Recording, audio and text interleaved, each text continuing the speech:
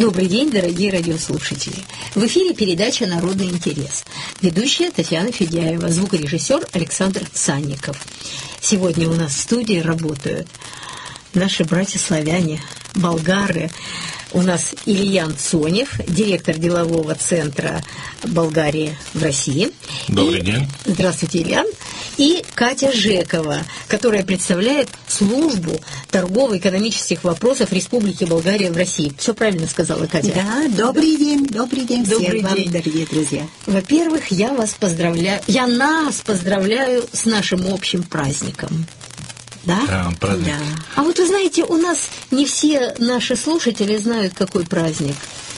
А праздник – это День славянской письменности и культуры. А какой в Болгарии? Какие вообще в Болгарии самые большие праздники? У нас как? У нас Новый год, День Победы, 8 марта. Вот это то, что отмечают все. А что отмечают все в Болгарии? Какие праздники?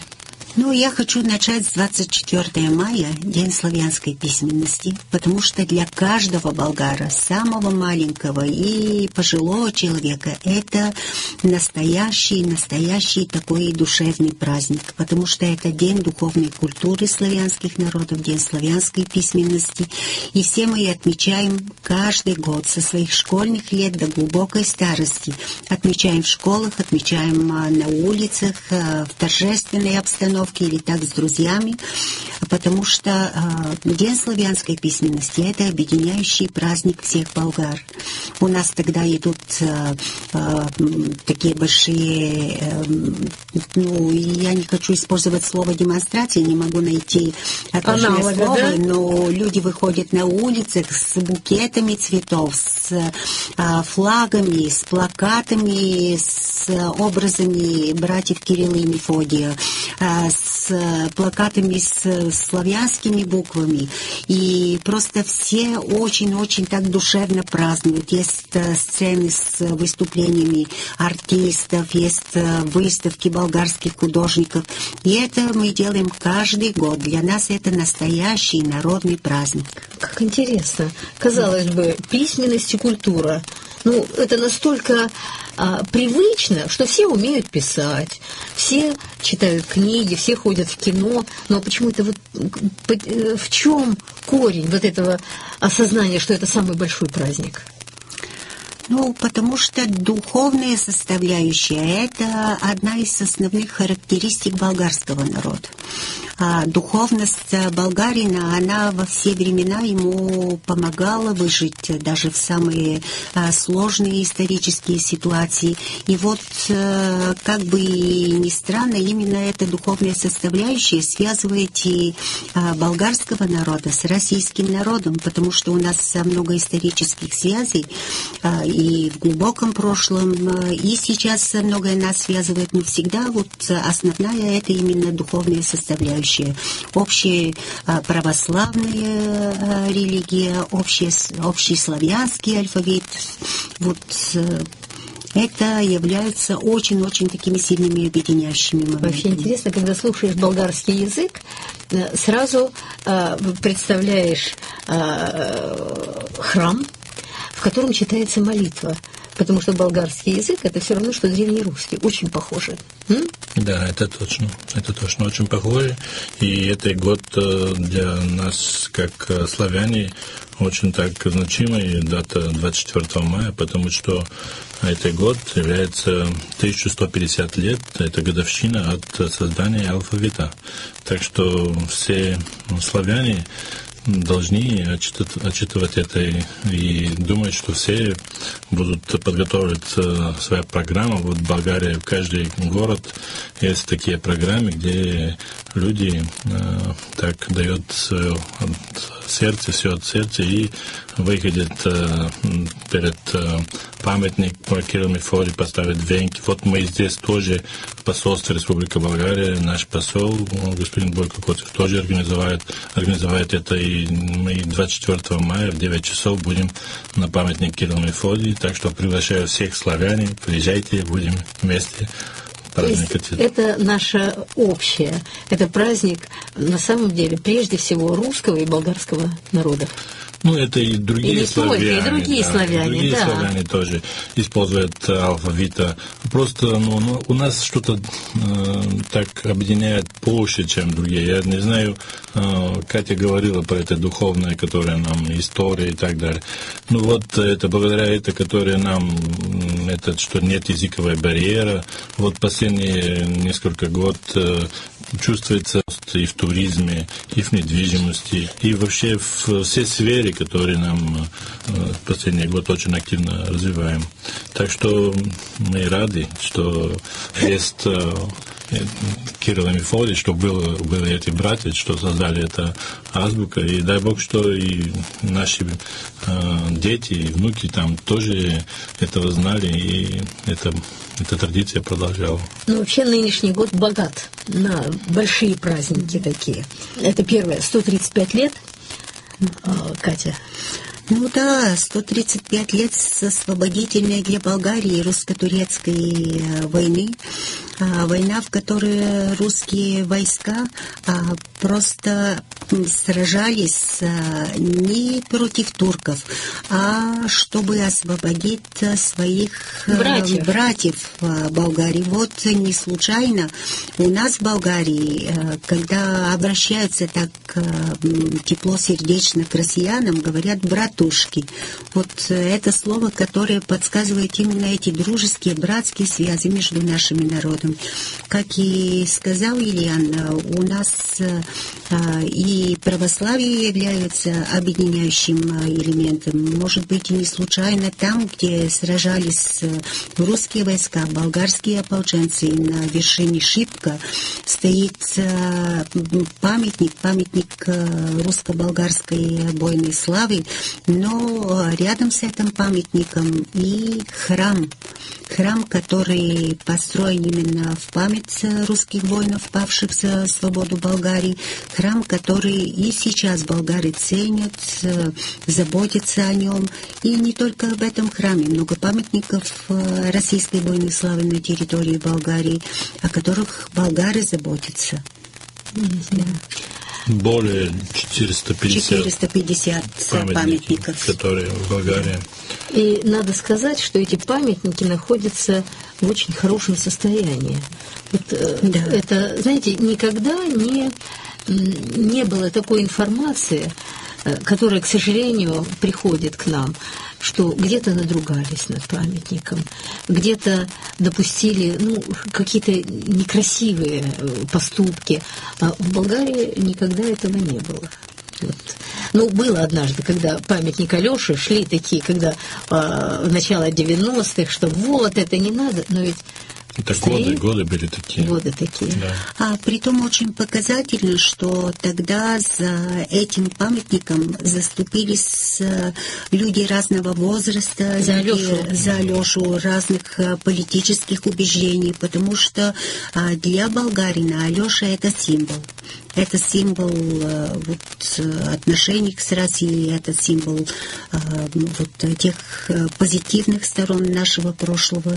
И Алеша стоит, mm-hmm. стоит в Болгарии. Знаете, когда я вас э, пригласила на эфир, один человек, и говорю, вот у меня придут болгары. Один человек говорит, как ты можешь приглашать, они члены НАТО. А, что это такое? Вот ты их приглашаешь. Я в ответ сказала, что, будучи в Болгарии, однажды услышала фразу, что у нас президент с Соединенными Штатами, премьер, ну это было некоторое время назад, что премьер с Германии, а народ с Россией. Соответствует это действительности или нет? Да, это сказал наш диссидент Родой Ралин около 15 лет назад, точно в эти трудные годы, которые мы говорим 90-е, когда вот люди так э, трудно переживали, и вот э, тогда в этой трудные времена тоже было так, что народ всегда был и останется Россия. Вот это очень, очень такая политика и очень такая духовная связь, что нам никто не может это помешать. помещат, да. Некоторые иногда говорят, да, конечно, болгары, это Болгария маленькая страна, она заинтересована в России, потому что Россия это большой рынок сбыта, э, Россия все-таки сильное государство, ну, а, а, всегда тянутся к сильным. Ну, есть, типа, есть какая-то выгода. Ну, на мой взгляд, выгода всегда есть э, в любых отношениях. Выгода быть в дружбе всегда дружба это лучше, чем ссора, это понятно. А, но а вот вы сейчас очень много работаете в России. Какие ваши задачи, самые главные? И что у вас получается, что не получается? И что хочется сделать? Ну, я уже четыре года как здесь работаю. И хочу сказать, что благодаря этого у меня много друзей, много контактов здесь. И э, много что мы сделали. Э, хочу сказать, что бизнес, который здесь сейчас э, обратно возвращается на этот рынок из Болгарии, э, ему очень трудно, потому что мы в 90-х годах потеряли этот рынок. Мы сейчас обратно возвращаемся, и конкуренция очень большая. Ну, вопреки этого мы стараемся, работаем активно. Вот с Катей работаем по туризме. У нас очень хорошие успехи в области туризма. Недвижимости тоже очень хорошие успехи. Вот как раз здесь я сейчас и задам этот вопрос. Э, ваши успехи в туризме и в бизнесе – это плюс, конечно, Болгарии. Почему? Потому что Болгария получает рабочие места, Болгария получает деньги, которые россияне привозят, отдыхая. А что Россия от этого имеет? Ну, Россия, э, значит, э, я думаю, что сначала говорим, что для российские люди это здоровье, Болгария, солнце, там э, отдых хороший, там люди с, заряжаются с энергией, возвращаются То есть здесь. моря-то у нас теплого все-таки мало, прямо скажем, Черное море вот так вот, а в Болгарии ну, там природа хорошая, там вот болгарское гостеприимство очень известно.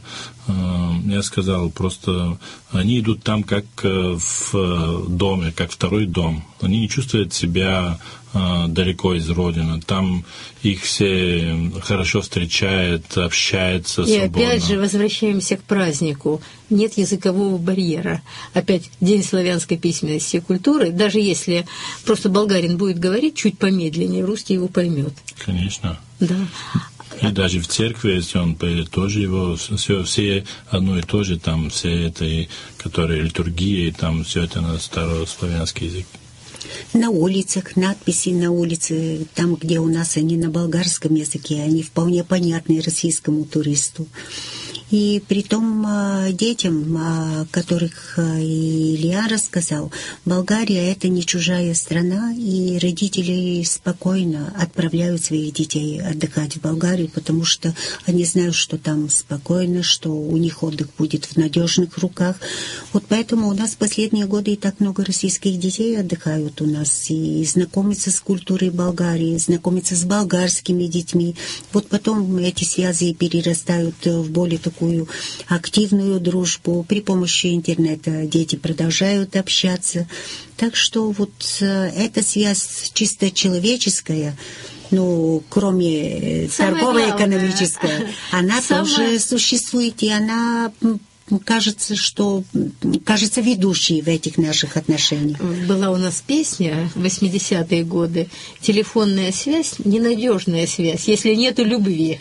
Так вот, да. если есть любовь, если есть отношения, дружба, вот такая э, связи человеческие, тогда э, можно горы свернуть. Дорогие радиослушатели, это передача «Народный интерес», ведущая Татьяна Федяева. Сегодня у нас в студии работают Ильян Цонев, директор делового центра Болгарии в России, и Катя Жекова, возглавляющая службу торгово-экономических вопросов Республики Болгарии в России. А говорим мы о нашем общем празднике. Это День славянской письменности и культуры. И, между прочим, этот год юбилейный, потому что в этом году исполняется 1150 лет огромному событию. Ну вот, Ильян, опять возвращаемся к этому событию. Какое все-таки событие это?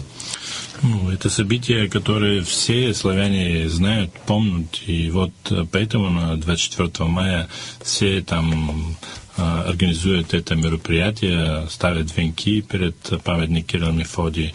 В, школ, в каждой школе в Болгарии в этот день дети получают свои дипломы, получают свои ленты, которые они ставят на свои груди, как отличник, кто отличник, кто... А, да. у нас обычно в этот день последний звонок, тоже такое совпадение, тоже последний да? звонок. Вообще это каждый человек, который, конечно, учился, это помнит и очень так переживает, когда 24 мая каждый год встречает, он знает, что это было. И это самые хорошие годы у каждой человека, школьные годы. И когда ты начинаешь только учить, вообще период познания, это самый ценный, наверное. Да. Ну и знаете, насколько приятно, когда мы здесь каждый год возлагаем венцы у памятника Кирилла и Мефодия, который находится в центре Москвы, в самом центре Москвы, и рядом с нами и Россия российские дети, которые тоже специально э, к этому поводу приехали и тоже возлагают венцы и цветы у этого памятника. А мы знаем, что в Болгарии вот наши дети а, у того, такого же памятника Кирилла и Мефодия, который находится в центре Софии, именно в то же время тоже возлагают венцы. как перекличка там. такая. Ты да, понимаешь, так что, что в это просто же самое праздник, время. он идет, ну, как лучи солнца, он идет повсюду, везде, где есть теплые Это как День Победы для, человеческие для сердца. Россиян. Вот если мы заговорили о победе, то именно в этом году был учрежден у вас очень ценный такой, э, ценная награда, это Самарский крест. Да. И название само по себе интересно, Самарский. Самарский крест – одна из таких почетных наград, из самых почетных наград Болгарии. Вот, казалось бы, Самар – это э, русский город. Общественный фонд, который этой э, Самарский крест э, придумал, который так э, э, уже, значит, все это он готов, и наш посол здесь, каждый, так, который помогает, который э, дал свой принос для болгаро-российское отношение. Он, это крест с решение общественного совета, общественного фонда, он вручает. И я несколько раз был вместе с посла и смотрю, как наши братья, которые получают россияне, слезами на глазами просто у них и это значит, что это очень так душевно, очень искренне, очень это для нас очень важно, чтобы этот Самарский крест, который был на флаг ополчения Болгарии, которые... Ведь это вышивали монахини, монахини в Самаре. Да, девический потом, монастырь Да, Самара. женский монастырь. Да. И потом этот, это знамя, как доставляли в Болгарию. Да. То есть это, это часть тоже... от, от флага который сохраняется. Это как наш как, как флаг победы, победы да, у нас сохраняется и почитывает это. Так что очень для нас важно это чтобы вот еще То еще есть вот еще одна такая это, параллель, да, да, да? Вот не только Кирилл Мефодий, мы уже ближе к нашей новейшей истории, это 135 лет а, этому событию, этого окончания войны турецкой. Ну и э, интересно просто отметить, что благодаря нашего посла очень активно сейчас мы все работаем в этом направлении, организовать вот такие маршруты по Болгарии, по дорогам российской бойной славы. Вот идут разговоры с Министерством культуры Российской Федерации, чтобы вот эти маршруты стали частью программы патриотического воспитания российской молодежи, потому что они важны и для болгарской, и для российской молодежи. И беречь память, сохранять и знать, что предки, они недаром дали свою кровь Я освобождение братьев славян. Перед передачей смотрела материалы, и действительно, люди всех национальностей, живущие mm-hmm. в России, те, кто воевали, проходили через Болгарию очень много. Mm-hmm. И начиная и с русско-турецкой войны, когда смотришь, что там были и Краснояр, из Красноярска, то есть Сибирь, самая далекая, Иркутск, вот Самара, мы уже говорим, Подольский полк там и так далее, и так далее. То есть вот она представлена была, даже не, не только э, Россия, весь я бы сказала, Советский Союз даже. Да. да. А, а вот, э, Катя, вы сказали об этих маршрутах.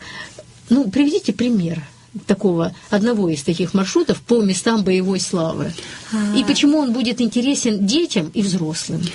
Ну, значит, я хочу немножко так обратить взгляд на наше э, туристическое, я бы сказала, прошлое, когда очень популярная форма э, поездки в Болгарии была э, форма поезда дружбы.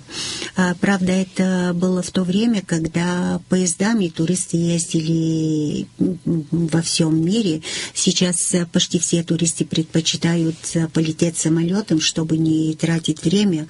Но вот э, поезда дружбы дружбы, которые были в Болгарии с нашими российскими друзьями, они эм, и, э, ездили по таким местам, а, где находятся вот места русской бойной славы. Это город Плевень, который очень глубоко связал свою историю с освободительной русско-турецкой войны, где находится, кстати, и знаменитая Плевенская панорама, которая является прекрасным памятником болгаро-российской дружбы, потому что вот э, эту панораму эм, организовали вот э, российские художники, которые работали над э, панорамой Бородинской битвы. А, это вершина Шипка, где находится и памятник э, русской бойной славы, где находится много памятников вокруг. Это целый комплекс таких объектов, которые отмечают вот тот подвиг русских войск в годы русско-турецкой войны. А вот церковь, русская церковь в городе Шипка, недалеко от этого памятника. А Алеша, который стоит в Пловдиве, в Пловдиве. стоит над горой Алеша, да. в Болгарии, а, русский вот, солдат. В Софии есть много памятников, э, связанных а, с Россией. И вот э, с этим периодом нашей истории это памятник царя-освободителя, который находится в самом центре города, напротив здания болгарского парламента, кстати. София, И да, именно да, перед да. Э, русской школой, знаменитой русской школой, школы с изучением русского языка имени Пушкина, а, так что многие говорят, вы в Болгарии русский язык не изучаете, но нету города в Болгарии, где нету хоть одной школы с изучением русского языка. А, кстати, какая динамика общая? По, ну, вот я поняла, что mm-hmm. очень интересный маршрут. И, кстати, если да. туда поехать, то ну, не только э, там удивиться, не только поклониться этой памяти, но и можно и отдохнуть где-то. Или просто конечно, вот только так? Конечно. конечно да? Везде, и в Плодиве, и в э, Софии, и везде в, по этой маршруте есть хорошие а гостиничные комплексы. А на море вообще там, там... Да?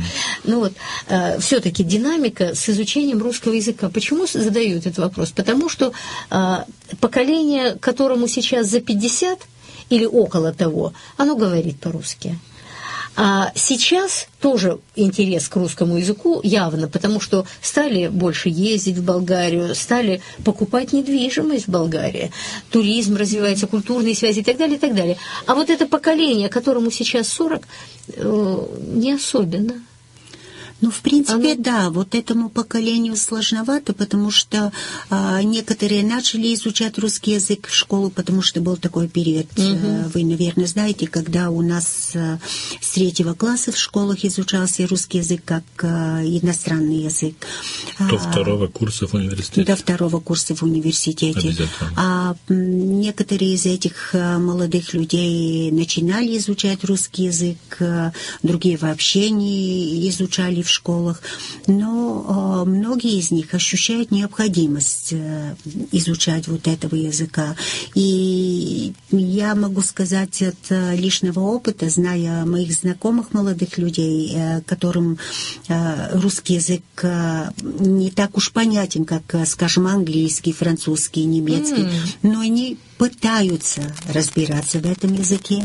Они смотрят передачи по русским каналам, которые в Болгарии много, потому что у нас а, везде можно посмотреть основные популярные в России федеральные каналы.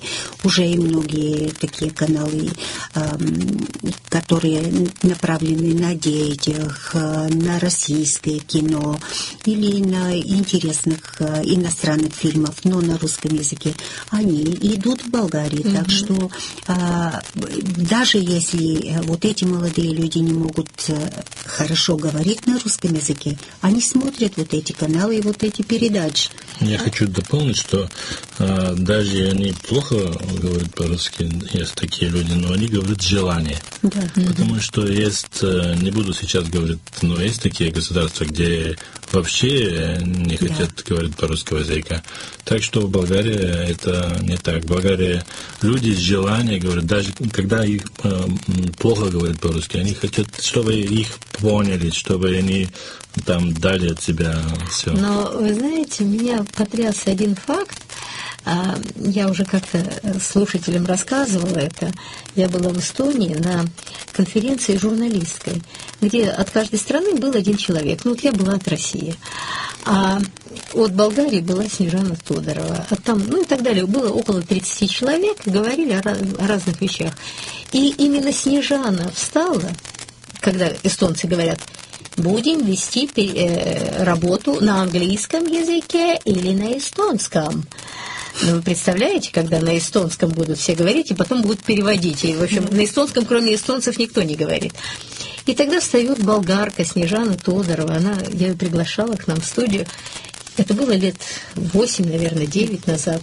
И она говорит, что мы здесь все придуриваемся.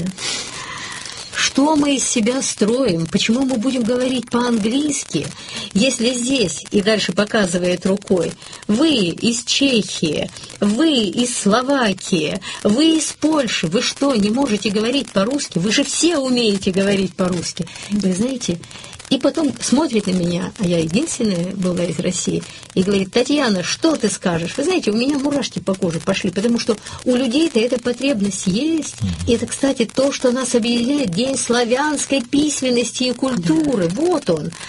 И тогда, и, ну, а Снежана, она такая, знаете, она, ну давайте проголосуем. И все подняли руки, что будем говорить по-русски.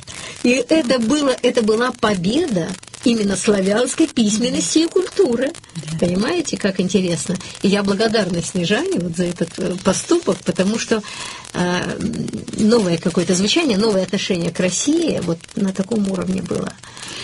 А, ну, знаете, очень а, интересный круглый стол. А, где-то неделю тому назад проводился а, в институте, а, в университете Витте. А, нас пригласили на этом круглом столе, и там а, больше десяти студентов выступили с а, докладами, с презентациями на тему Кирилла и Мефодия, славянская письменность, Кирилла и Мефодия как объединяющие составляющие между Болгарией и Россией, между болгарской и российской. Это наши российские студенты были? Это российские студенты. И там был были очень интересные презентации. Э, просто студенты а, так э, глубоко в эту тему зашли, с таким э, отношением невероятным к этой тематике, что просто я так сидела, и я была горда, что я болгарка. Вот с таким отношением они по этой теме говорили. Ну вот одна из этих девушек сделала очень интересный философский доклад. А, и она объяснила, почему славянский алфавит – это космический алфавит. Она а, а, каждую букву рассматривала именно в таком символическом смысле, как послание космическое. А, и а, даже если это не так в реальной жизни, а только в этой духовной сфере, очень приятно знать, что ты являешься частью космоса, частью вот той глубокой мировой позитивной энергетикой. Замечательно. Ну, э, вы же знаете, что сейчас время от времени раздается такое, а что говорить о празднике а, Кирилла и Мефодия, что говорить о празднике славянской письменности и культуры? А, российская письменность была давным-давно, вот э, писали там на чем-то, э, что-то что было. Ну, это не так уж вроде и важно. Вот что вы по этому поводу думаете? Для меня что было и как было, для меня важно, что мы сейчас э, говорим э, вот и понимаем друг другу. А что было, как было, меня сейчас так сильно не интересует. Важно, что у нас есть понимание, мы э, дружим, мы общаемся, мы просто работаем. И, и что, вот я хочу сказать, что не только в Москве, я был э, недавно, полтора месяца назад в Ступино, вот у меня в Подмосковье, э, я был впечатлен, там было побратимение, сделали город Велинград и город Ступино. Когда мы там э, э, увидели, что сделали дети, в, там их библиотека, их там дом культуры, какие были просто изложба, все было посвящено, это братья Кирилл Мефорий и и это, я думаю, что, что было, может быть, у каждого народ было что-то. Конечно. Э, ну, важно, что сейчас... Что есть. Что есть, и что мы должны сохранить это. Потому что если мы не сохраним это, то мы не славяне, значит, мы кто-то другие люди. Есть такое выражение. Притом, если мы напишем, вот мы, болгары, напишем слово «мир», угу россиянину сразу будет понятно, что именно мы написали, и скажет, вот это по-русски написано. Если мы напишем слово «мама», это да. то же самое и на русском языке. Вот недавно мы э, с Ильяном на одной встрече были, и там вот э, нам сказали вот это послание «Твори добро». И говорят, ну как это будет на болгарском языке? А вот на болгарском то же самое пишется также и читается почти. Твори добро. Смысл Это один самый, и тот же. Самые главные, так что, основополагающие да. какие-то вот нас... духовные такие да. основы, да. они общие. И на, с одними и теми же буквами, с одном и том же смысле. Вот мы сказали о прошлом. Есть такое выражение «смотри назад». Сейчас вспомню. «Смотри назад с уважением, Смотри вперед с надеждой, смотри вверх с верой, а смотри вокруг с любовью. И вот мне кажется, что ну, это как раз есть. Вот то, что сейчас происходит между Болгарией и Россией, связи, которые были прерваны, что уж там говорить, из песни слова не выкинешь. 90-е годы, а как это как в семье, когда бросают горшки, тарелки, все бьется, а потом спохватываются, за голову хватаются, говорят, что ж мы наделали-то, ребята, надо что-то менять. И похоже, что сейчас это меняется, и не только с Болгарией. Ну, и все-таки, вот сейчас мы перед радиослушателями. Что бы вам хотелось сказать? Ну, культура – это все замечательно. Это, это основополагающее, то, что есть, потому что вначале было все-таки слово, да? Но есть еще и материальные какие-то основы. А, что бы вы хотели пожелать и нашим радиослушателям, и вашим соотечественникам, ну, основываясь на том, что мы сегодня имеем? Ильян. Ну, сначала, конечно, хочу пожелать им здоровья, э, счастья, что вот Э, продолжали так э, хорошо отношения развиваться между нашими народами, чтобы продолжали приезжать в Болгарию, отдыхать э, россияне, чтобы продолжали покупать недвижимость. Ах, чтобы, какие вы! Чтобы Ах, какие вы! Наши, наши продукты, которые очень экологичные, очень хорошие, чтобы э, каждый знает болгарский перец, болгарские консервы. Ну, это уже пошла реклама. Да. Да, да, и да, хочу, да. что они, они так э, всегда чувствовали себя как дома в Болгарии, потому что не случайно, не случайно было сказано курица не птица, Болгария не, не за граница. Так, Катя. Ну, я тоже, как и Илья, считаю, что здоровье – это самое главное. Человек должен быть здоровым, чтобы он а, мог выделить время, силы, а, мысли, энергию на всех остальных позитивных действий в своем а, жизни. И э, мне очень нравится вот э, то выражение, с которым всегда заканчивают заканчивает сериал про кота Леопольда. Давайте жить дружно. Я бы не сказала, давайте жить, давайте продолжать вот эти дружеские отношения и в бизнесе, и в культуре, и в нормальной человеческой жизни, потому что нас э, многое связывает, и мы э, можем и работать, и дружить, и отдыхать вместе, и чувствовать себя прекрасно в этих дружеских общениях. Ну, и если учесть, что и Болгария, и Россия сейчас все-таки находятся пока еще не на подъеме. Очень хочется, что мы найдем силы в том, чтобы, поддерживая друг друга, становиться сильнее.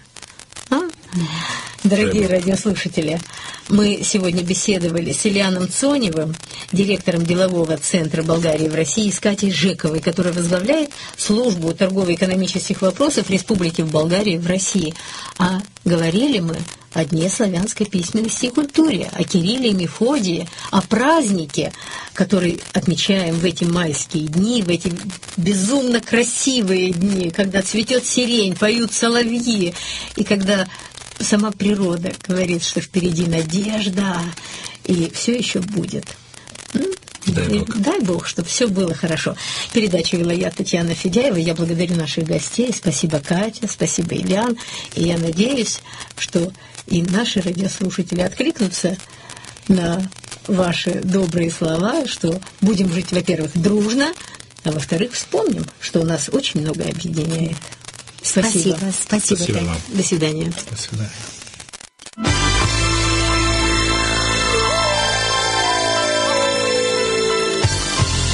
Народный интерес.